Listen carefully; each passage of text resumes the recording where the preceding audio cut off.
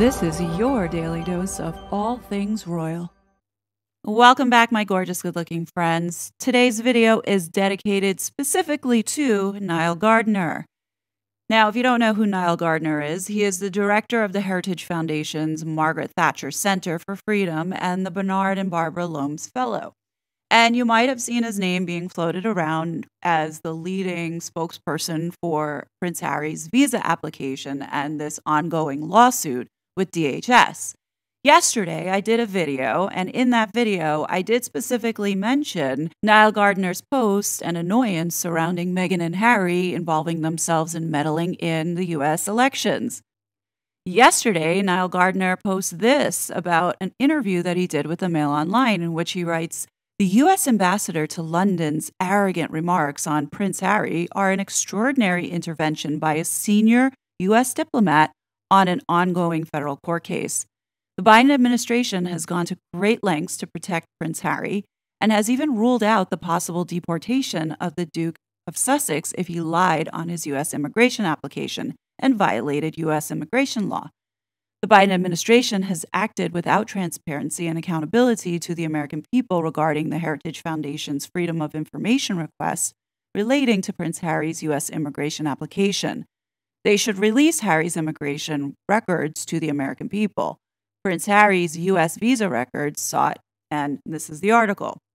Mail Online exclusive. It says campaigners demanding Prince Harry's U.S. visa be made public submit extraordinary comments by Joe Biden's UK ambassador to judge in new bid to make his immigration status public.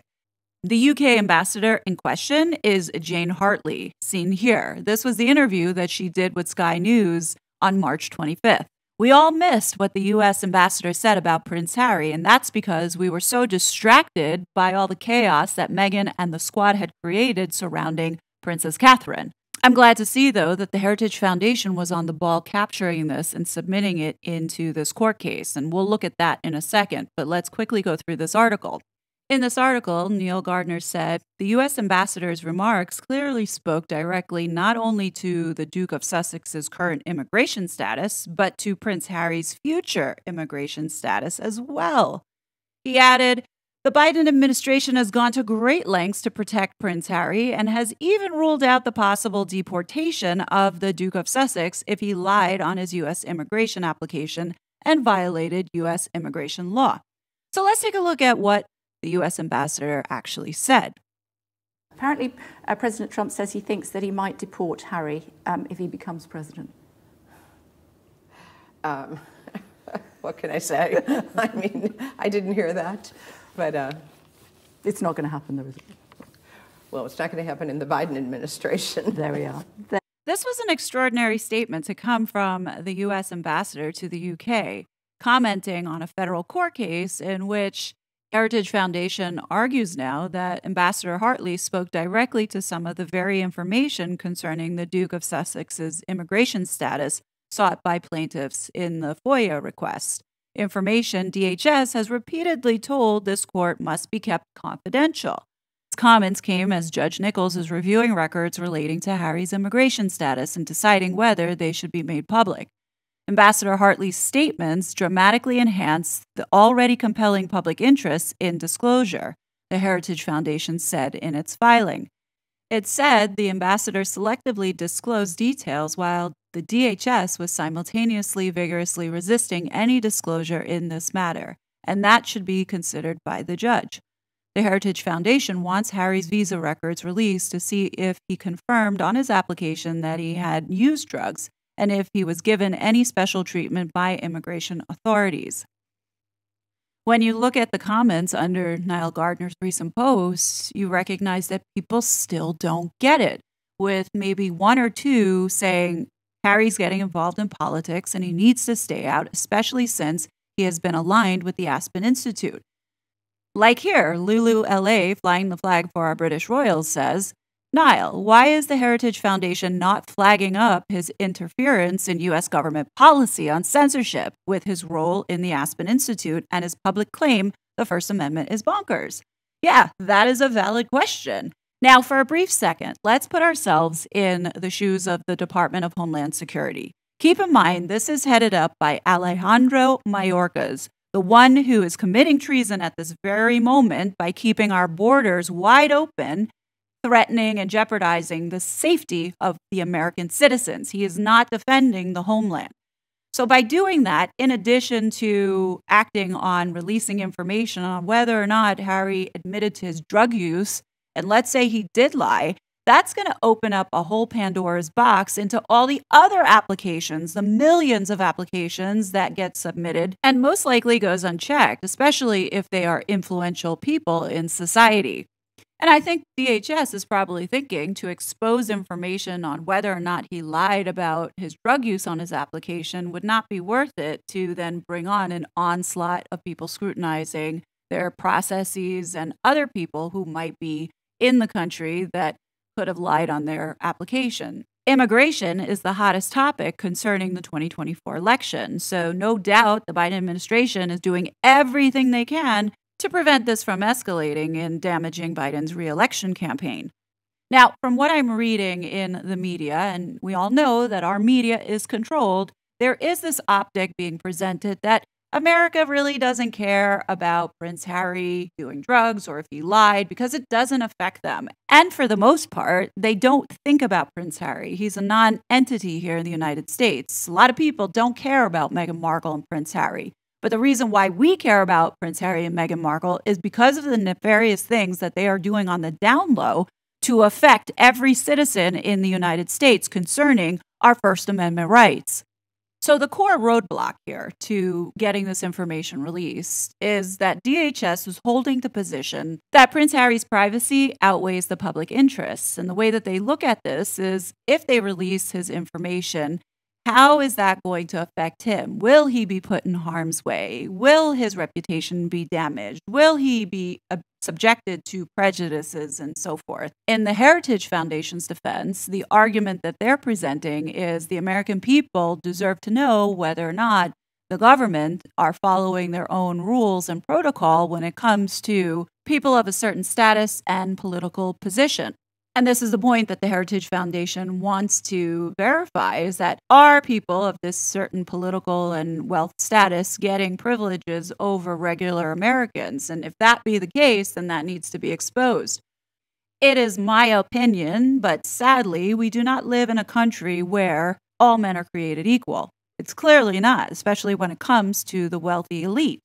Now, if you're an outsider and have not been following this story, and like many Americans who've been sleepwalking through what the media has done to all of us, you would say, What's the big deal? Who cares what he put on his application? It's one simple question. It doesn't affect you directly. And this is most likely going through the majority of people when they look at this case from the outside. To give this more meat and substance and make it matter to the American people, is to talk about Harry's interference with our Constitution and his work in alignment with the censorship industrial complex, beginning supporting the Biden regime in 2020. America has 1000% the right to know if we have an immigrant here who has been influencing our government. We should know if Harry was on a diplomat visa when he was acting on behalf of the state, working with Aspen Institute, using taxpayer money to produce that Aspen Commission on Information Disorder in trying to push policy, we should know if we have a foreign agent here that is unregistered because that's against the law. We also need to protect our Constitution and defend our homeland because the people in charge are not doing it. The American public interest absolutely outweighs the need to protect Harry's damn privacy. A self professed illegal drug user breaking the law as an unregistered foreign agent, acting on behalf of the state to influence taking away Americans' First Amendment rights. And let's not forget that Meghan and Harry have this homegrown domestic terrorist group that they fund and support called the Sussex Squad. Now, with that being said, Prince Harry's privacy does not outweigh the American public interest because, in this context and what he has been doing, he is seen as a domestic threat. At all costs, America has to protect its Constitution. This is why we fought in wars. Now, we just heard Jane Hartley, the U.S. ambassador to the UK, openly state that it's unlikely that Prince Harry will be deported under the Biden administration. that sends a bold message to the American people that yes, the Biden administration treats people of a certain wealth and status differently than regular Americans. Because what if Prince Harry did admit to his drug use? He wouldn't have been allowed to come into the country. Or if he lied on his application, it's almost like the US government is going to look the other way. That's essentially what that statement the ambassador conveyed to the world. So I agree with the Heritage Foundation. They absolutely need to raise this with the judge before they make a decision on whether or not we know about this information. But I think that the Heritage Foundation should anchor themselves with our Constitution because that's the law of the land. That's who we are. And if that is under threat, I think America has the right to know that, especially knowing if the Biden administration was aware and blessed the activities and work that Harry had been doing with the group of people who are now getting sued in the Missouri versus Biden lawsuit. I do think America would like to know if our current government is trying to take away our inalienable rights, which the First Amendment, if that falls, which we all know there's an active movement around the world trying to censor and control speech online, I think America needs to get that sorted before November comes. This is a guy who openly admitted with Renee DiResta, with Rashad Robinson on the Wired interview that he knew about January 6th. Why is it that the Biden administration never pulled him in for questioning? Now, it's my opinion, but I think that the Heritage Foundation also needs to include Archewell Fugazi Public Charity and the tax fraud that's being committed. Meghan and Harry have this 501c3 public charity status, but they are operating as a political action committee, not only to support causes for our election, but also to fund censorship initiatives as part of this censorship industrial complex. So, this vehicle, Archewell Fugazi Public Charity, needs to be investigated by the IRS. I think Americans have the right to know if Archewell is being funded by American taxpayer money. And that's the thing. Under the Biden administration, a lot of these programs to where money is being siphoned and stolen from the American people are going into these NGOs and that information is not disclosed. So I think there should be an investigation there because it's just too convenient that Archewell aligns perfectly with the Biden administration whenever they have programs and tax dollar money is available. So, you know, a lot of times when we say, why did they pick that? Or how random, they never talked about saving Afghan refugees and getting them settled. Well, now you know money has been put in certain programs by the Biden administration that I am sure Meghan and Harry have their sticky little fingers in and now grifting off of the American taxpayer because what else do they have left? And how is it that they're able to continue with this absurd lifestyle? At bare minimum, we know that the report that they put out for the Aspen Institute on information disorder was funded by the taxpayer. So, right there, Harry is on the hook for acting on behalf of the state. Matt Taibbi exposed the evidence in the Twitter files. So, where is Harry going to run and what excuse is he going to make? And just a side note, as I had suspected in a previous video, that funding most likely is coming from USAID or the State Department. I had covered this in the South by Southwest video, thinking that possibly CIA might be funding a lot of the initiatives that we see Harry and Meghan on that make absolutely no sense. For those that are interested or want to visit that, this was the video that I did a month ago covering the US government and the programs that Harry and Meghan seem to conveniently align with in order to pull funds, which majority of these funds coming from USAID.